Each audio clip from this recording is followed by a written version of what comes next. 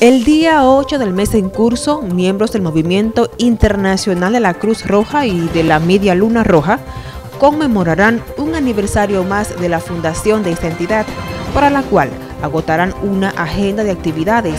Jason Martínez, director de la propaganda y difusión de la entidad en esta ciudad, ofrece los detalles. Eh, estaremos lo que es en la Catedral Santa Ana, en una misa, luego haremos una ofrenda, una ofrenda floral en el Parque Duarte, el la estatua de nuestro natalicio, y luego estaremos en nuestra filial que está ubicada en la calle Castillo, eh, en la calle Colón, esquina Castillo y Salomé Ureña, en un acto solemne en nuestra conmemoración de nuestro aniversario.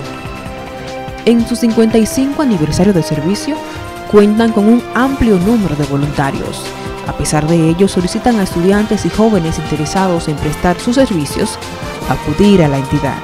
Ahora mismo contamos con 55 voluntarios. Le hacemos un llamado a todos los estudiantes del liceo que en nuestra institución estamos efectuando lo que es las, 30 horas, porque ya no son 60, ahora son 30, y estamos dándole ese servicio. ¿En qué, en qué se basa? En coger curso de primeros auxilios, hacer servicio comunitario y entre otras cosas. Giovanni Cordero, NTN, su noticiero regional.